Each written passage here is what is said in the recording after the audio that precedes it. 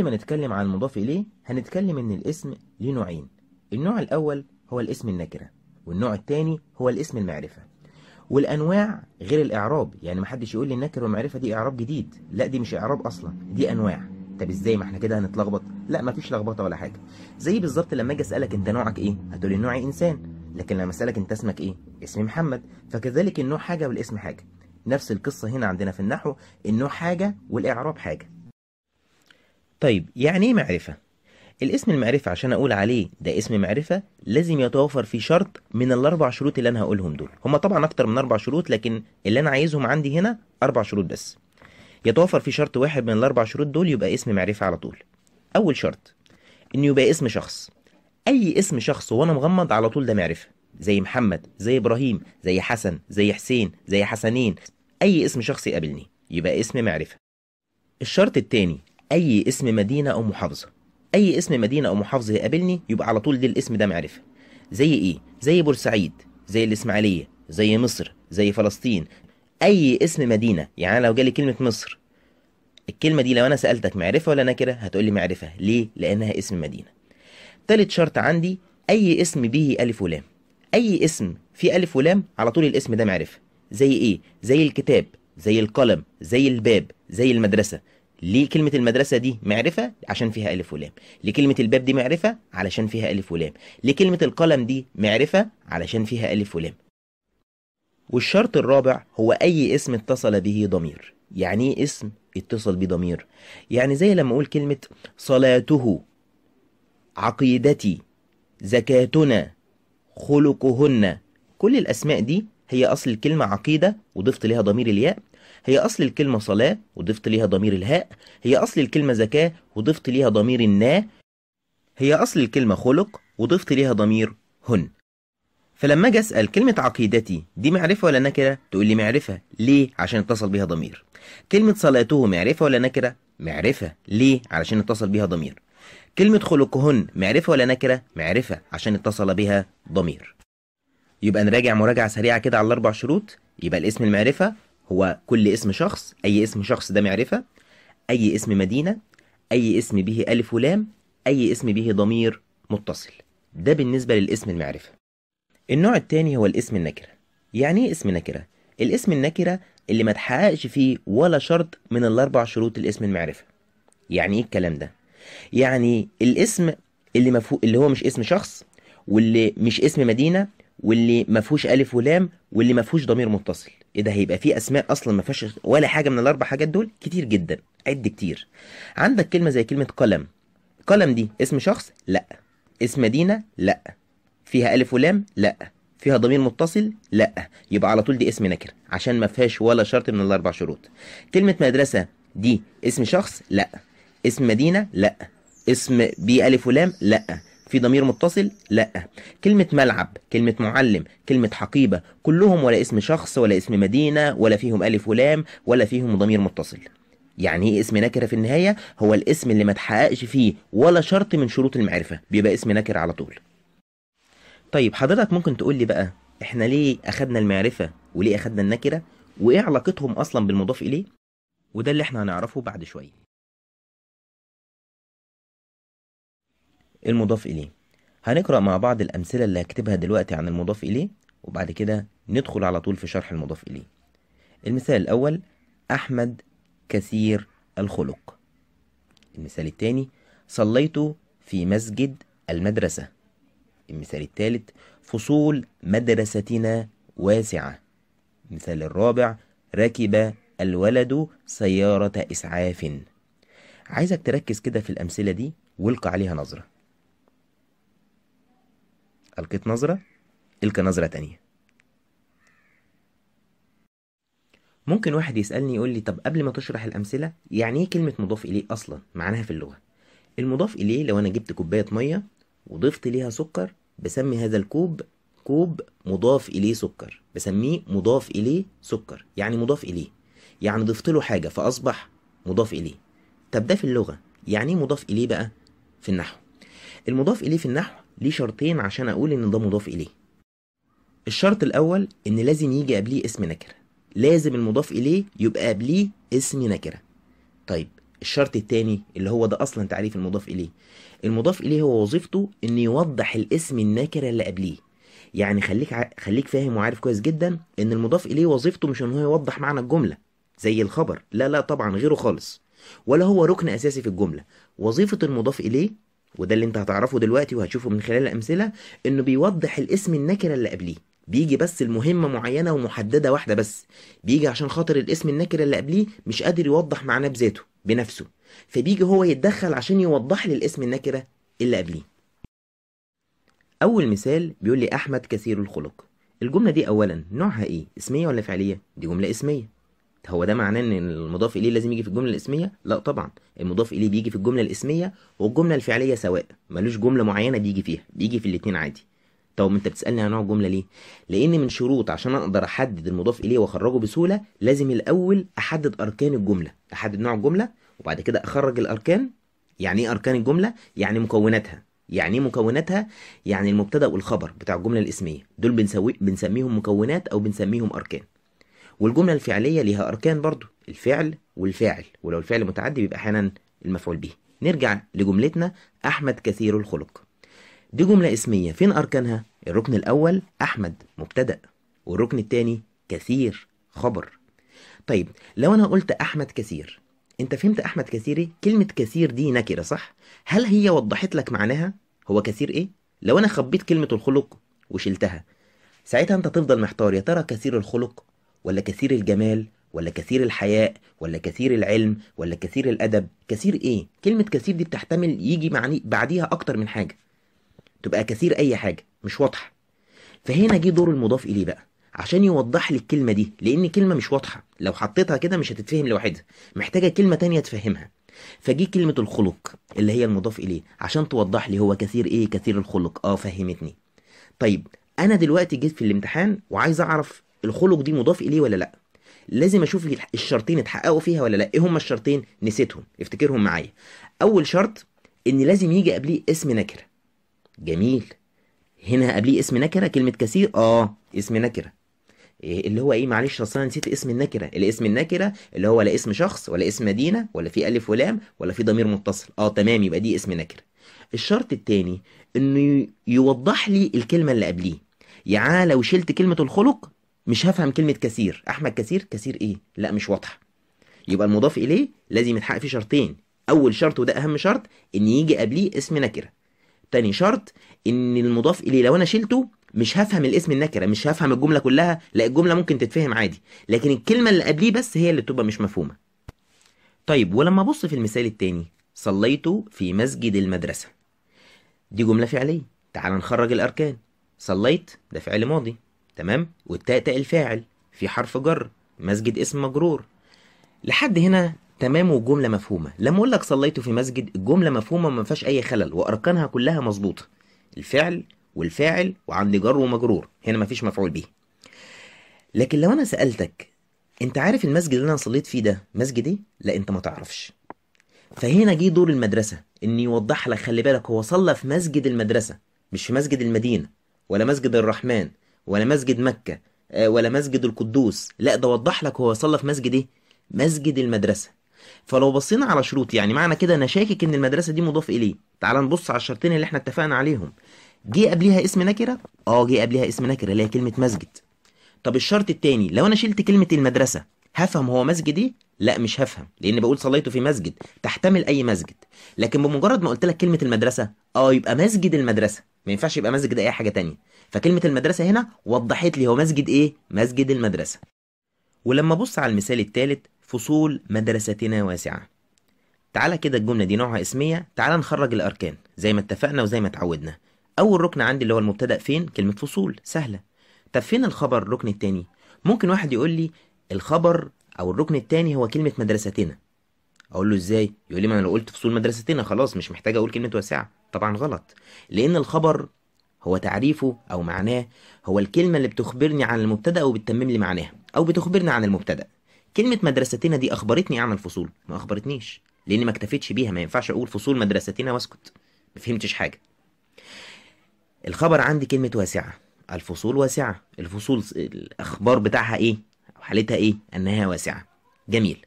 طيب كلمة مدرستنا دي بقى أعربها إيه؟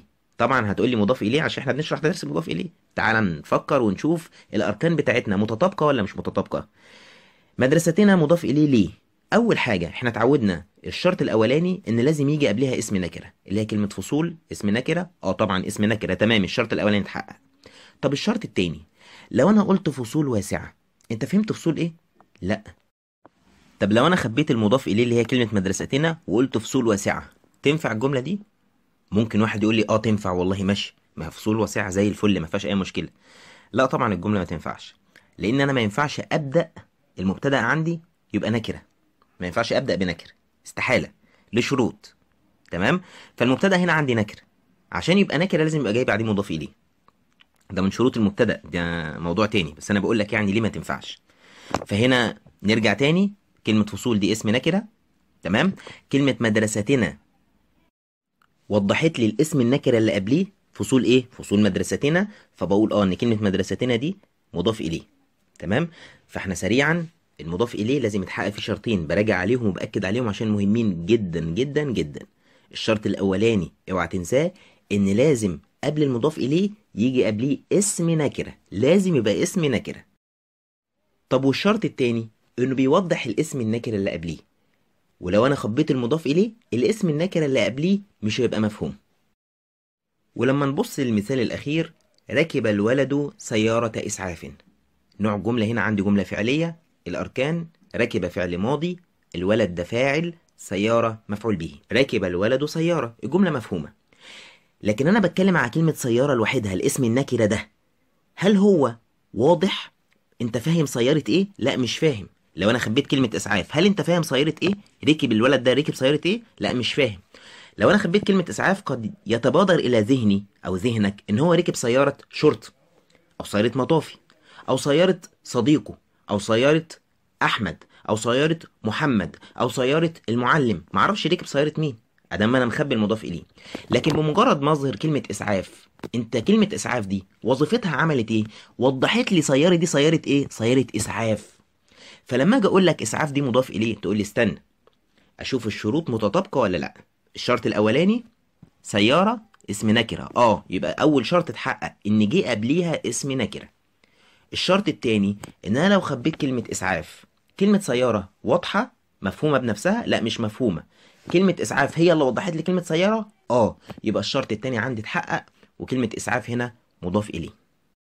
ممكن واحد يسألني هو المضاف إليه ينفع يجي نكرة؟ هو غالبا المضاف إليه بيبقى معرفة في الامتحان يعني. غالبا مضاف إليه بيجي معرفة بنسبة 80 85% لكن ده ما يمنعش إن أحيانا في ثالثه إعدادي فيما فوق أو تاني إعدادي فيما فوق بيجي نكرة. طيب أنا أعمل إيه دلوقتي؟ أحفظه نكرة ولا معرفة؟ لا أنا عايزك تفهمه. مش عايزك تحفظه هو نكرة ولا معرفة. أنا عايزك تفهم المضاف إليه. ما تحفظوش إن هو نكرة ومعرفة والكلام ده.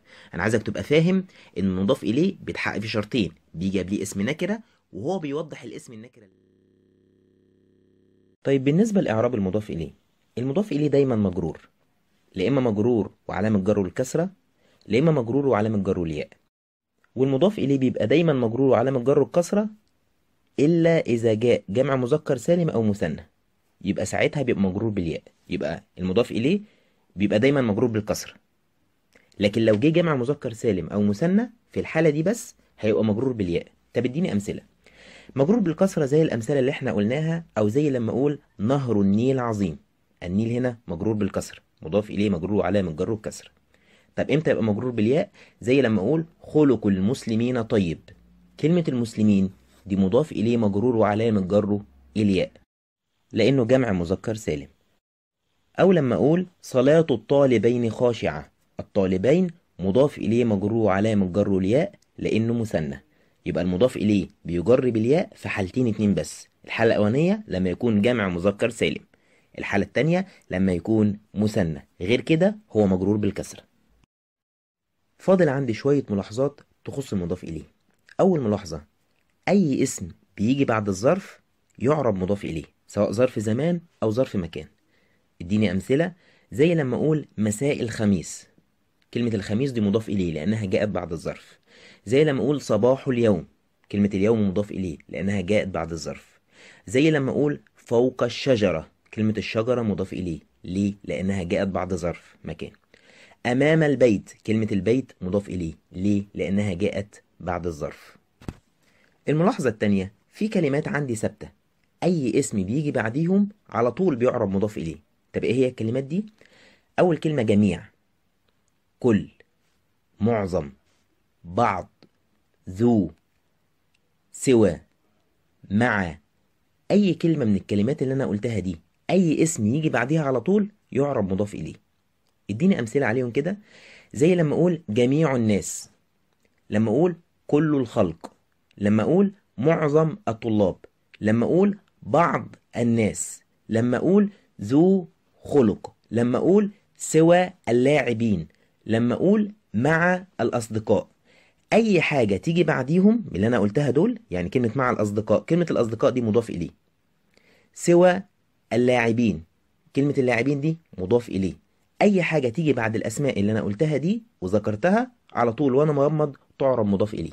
الملاحظة الثالثة والأخيرة إن الاسم اللي قبل المضاف إليه اللي هو الاسم النكرة بيسمى مضاف.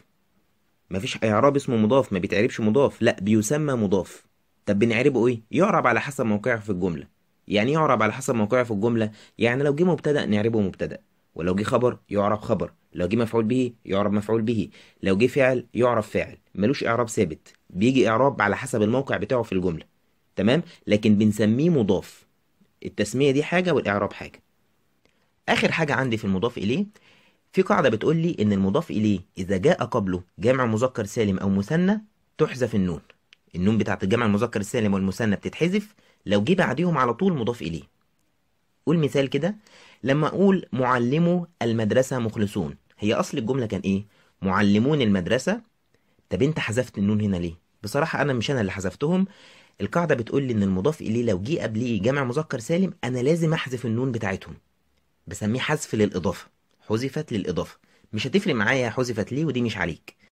المهم عندي إن أنت تبقى فاهم إن كلمة معلمه دي مبتدأ مرفوع بالواو. وكلمة المدرسة مضاف إليه عادي خالص ما فيهاش مشكلة ما تتخضش من شكلها. وكلمة معلمة هي مبتدأ مرفوع علامة رفعه الألف فما تتخضش من شكلها. إذا القاعدة بتقول لي آخر حاجة إن المضاف إليه إذا جاء قبله جمع مذكر سالم أو مثنى بتحذف النون. ممكن واحد يقول لي أنا فهمت الدرس والدرس سهل والطريقة جميلة لكن لما باجي قدام قطعة النحو برضه ما بعرفش أحل. طب تعالى نحل قطعة نحو مع بعض. أنا دلوقتي هديك تدريب عبارة عن قطعة نحو عبارة عن سطرين بالظبط هكتبها قدامك دلوقتي على الشاشة. هتستخرج كل مضاف إليه في القطعة دي. تمام؟ عشان أسهل عليك أول قطعة فيها ستة مضاف إليه وتاني قطعة فيها خمسة مضاف إليه. التدريب هيقعد لمدة دقيقة على الشاشة. فحضرتك أكيد مش هتلحق تستخرج الستة مضاف إليه في خلال دقيقة.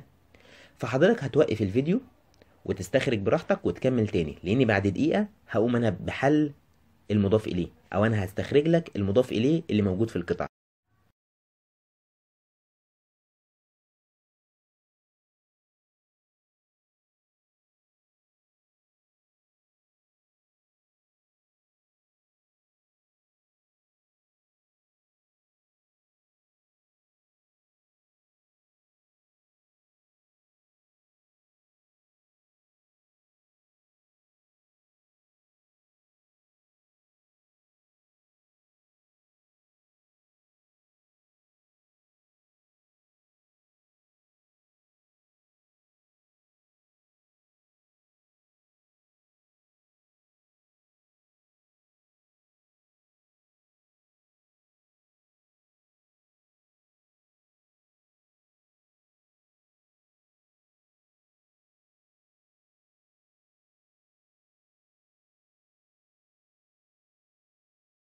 التدريب الأول بيقول إن فضل الله عظيم فهو يقبل توبة عباده الصادقين فعلى كل إنسان أن يسعى في طريق الإيمان وأن يسير على هدي محمد عليه أفضل الصلاة والسلام لينعم بحياته. أول مضاف إليه عندي الله اللي هي إن فضل الله. تاني مضاف إليه عندي كلمة عباده. تالت مضاف إليه عندي كلمة إنسان. رابع مضاف إليه عندي كلمة الإيمان. خامس مضاف إليه عندي كلمة محمد. سادس مضاف إليه عندي كلمة الصلاة. لو بصيت في الست أسماء اللي موجودين هتلاقي كل واحد فيهم وضح لك الاسم النكرة اللي قبليه. كلهم توافقت فيهم الشروط. الله جه قبليه اسم نكرة ولو أنا شلت لفظ الله مش هعرف فضل إيه. توبة عبادي كلمة عبادي جه قبلها اسم نكرة ولو أنا شلت كلمة عبادي مش هفهم إيه. فعلى كل إنسان كلمة إنسان مضاف إليه لأنها جاءت بعد كل وكذلك الإيمان وكذلك محمد وكذلك الصلاة. ودلوقتي هسيبك قدام التدريب التاني برضو لمدة دقيقة. حضرتك مستقل الدقيقة هتوقف الفيديو وتقعد براحتك وتخرج المضاف إليه. هتلاقي خمسة مضاف إليه في التدريب التاني.